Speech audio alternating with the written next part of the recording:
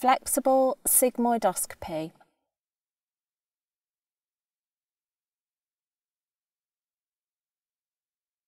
A flexible sigmoidoscopy is a procedure that allows the doctor or nurse to look directly at the lower end of your bowel.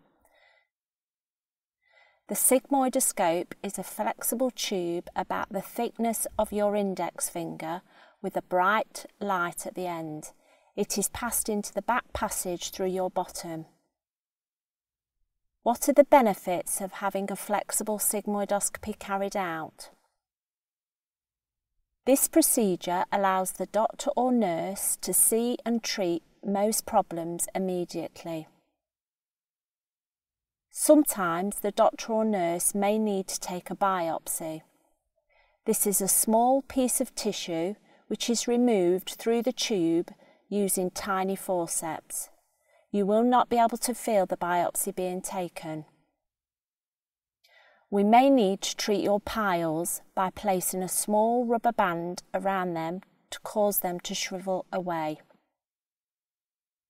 We may need to remove a polyp, an overgrowth of tissue, by diathermy. This means passing a narrow instrument through the scope and directing a small electrical charge directly to the base of the polyp. Getting ready for the procedure.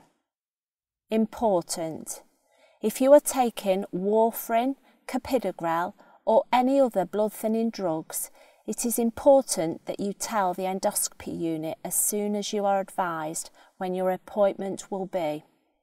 This is because sometimes special arrangements may need to be made to stop this for a few days. It may also be advisable to have a blood test a couple of days before your appointment to see if the procedure is safe to proceed. If you are taking iron tablets, please stop these five days before your procedure. Please keep taking all other medication, including blood pressure tablets, including on the day of your procedure unless directed otherwise. If you are diabetic, please discuss this with endoscopy before attending or with your consultant. If you answer yes to any of the following two questions, please contact us for advice. Have you ever been notified that you are at an increased risk of CJD or VCJD for public health purposes? Have you received multiple 50 units on more than 20 occasions? Transfusion of blood or blood components, red cells, plasma, cryoprecipitate or platelets since 1980. Before this procedure, we will need to prepare your bowel by giving you some medication to clear it Please read the bowel preparation leaflet if you have been given a copy. Please have nothing to eat from taking your bowel preparation until after the procedure. You may drink clear fluids only up to two hours before your appointment time. You may be given an enema on the day if you have not been sent bowel preparation. This will empty your bowel so that the doctor or nurse can have a clear view.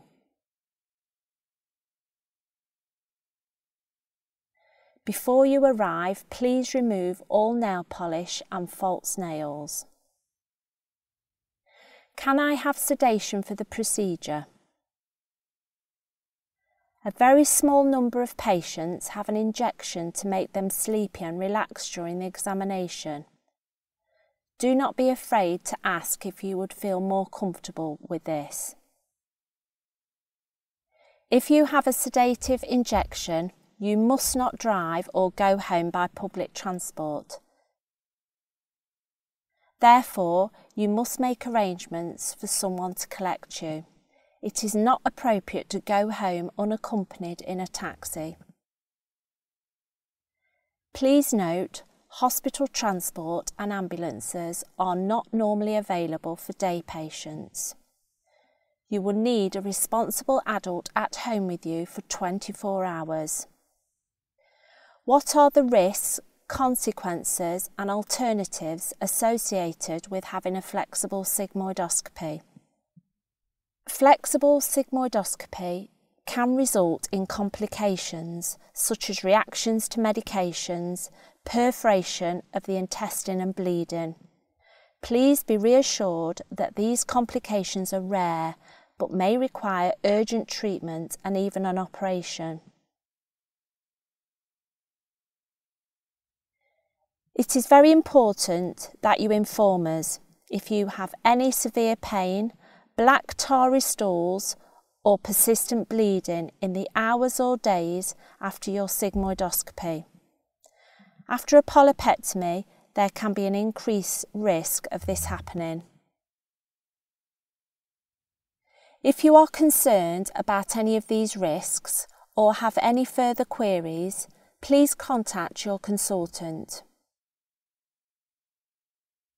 Your consultant has recommended this procedure as being the best option. However, sometimes a barium enema CT scan may be performed. This means putting white x-ray fluid into your bowel and or air through a tube placed in your bottom. Then by inflating your bowels with air, it allows pictures to be taken. This procedure is not as effective as a flexible sigmoidoscopy and cannot allow treatment to be undertaken at that time. Therefore, you may still have to undergo a flexible sigmoidoscopy at a later date. If you would like more information about this, please speak to your consultant or one of the nurses caring for you. What should I expect? On arrival at the unit, a receptionist will check your details. You will be asked some questions about your general health, the medicines you take, and any allergies you may have. The doctor or nurse will then explain the procedure and ask you to sign a consent form if you already haven't signed one. If you have any questions or worries at this point, please do not be afraid to raise them. Please tell the doctor or nurse if you have had any other endoscopy examinations or any allergies or bad reactions to medication. A nurse will then take you to the changing rooms where you will be asked to put on a hospital gown. It is useful to bring your own dressing gown and slippers. Once you have changed, you will be asked to wait in the pre-procedure room. You will be made comfortable on a trolley lying on your left side with your knees bent up. After the tube has been gently inserted into the back passage, air will be passed through to distend the bowel. This will allow a clear view of the lining of the bowel. It may cause you a little discomfort, but it will not last too long. You may get the sensation of wanting to go to the toilet, but as your bowel is empty, there is no danger of this happening. You may pass some wind, but don't feel embarrassed or worried. It is only the air that is being passed. The examination should only last about 10 to 20 minutes and a nurse will remain with you throughout. If you do have a sedative injection, you will have to rest after the procedure for a short while. Please expect to remain in the unit for up to three hours. Sometimes we may have to attend emergencies who must take priority. You may wish to bring a newspaper or book with you to read. When do I get the results? We will usually give you the results after the procedure. However, if you have had biopsies taken or polyps removed, these will have to go to the laboratory for further examination. In this instance, you may be asked to attend another outpatient appointment or we may write to you with the results. discharge information and at-home advice. You are unlikely to have any side effects following your procedure. However, you may experience abdominal discomfort. This is caused by the air which the doctor put in during the examination. This could last up to 12 hours and will pass naturally. If you have had a polyp removed or biopsies taken from your bowel, you may notice some spotting of blood in your bowel movements for the next 24 hours. If you have heavy bleeding, please seek medical advice. Sedation. If you have been given a sedative, it will remain in your body for 24 hours, and during this time, it gradually is excreted from your body. Therefore, there are certain things that you should and should not do.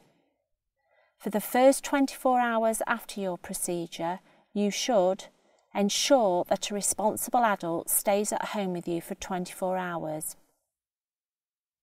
Rest quietly at home for the rest of the day. Go to bed or lie on the settee. Drink plenty of fluids, but not too much tea or coffee. Eat a light diet, e.g., soup or sandwiches. Avoid greasy or heavy food, as this may cause you to feel sick. Lie flat if you feel faint or dizzy. Contact your GP if you have not passed urine 12 hours after your procedure. For at least 24 hours after your procedure, you must not drive. Your insurance company may refuse to meet a claim if they feel you have driven too soon. Go back to work. Lock yourself in the bathroom or toilet or make yourself inaccessible to the person looking after you. Operate any domestic appliances or machinery. Drink alcohol. Make any important decisions or sign any important documents. Be responsible for looking after small children. If you have any queries or require further information, please contact the endoscopy unit.